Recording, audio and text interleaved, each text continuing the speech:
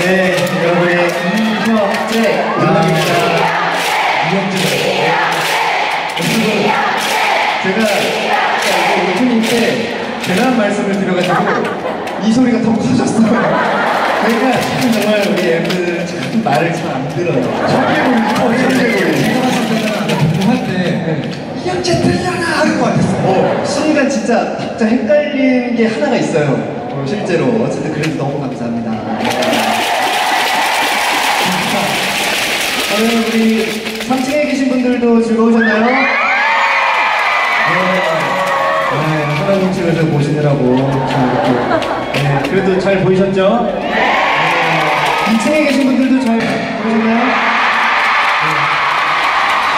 네. 1층은 뭐 너무 잘 보이셨고, 그죠? 네, 다들 너무 어, 감사드리고요.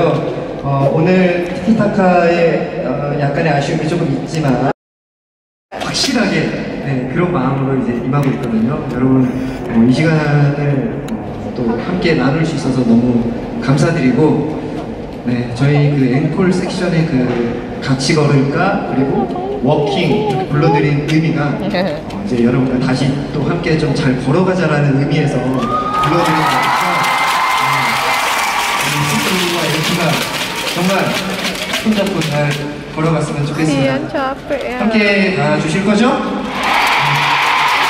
감사합니다.